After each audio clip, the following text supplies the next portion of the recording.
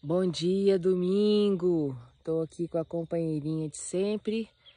Acordei espontaneamente antes das seis horas e grata a Deus porque eu estou aqui viva pela oportunidade da vida, oportunidade de viver. Vim aqui, ó, compartilhar o sol nascendo, como eu sempre faço, aquele sol esplendoroso que hoje não apareceu. Mas não tem problema.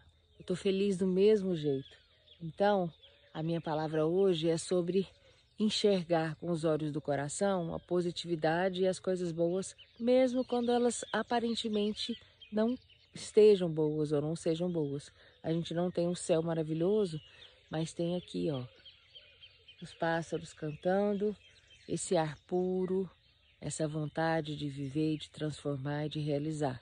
Então eu passei aqui para compartilhar com você esse dia e dizer aqui que o nosso Senhor dos Mundos, que está ao meu lado, que vive ao meu lado, passou aqui comigo para te deixar essa mensagem. Então eu estou aqui caminhando com Ele, conversando sobre a nossa vida, sobre as coisas maravilhosas que a gente tem que realizar e que sob o seu comando, a sua verdade, o seu amor, a gente vai realizar. Então é isso.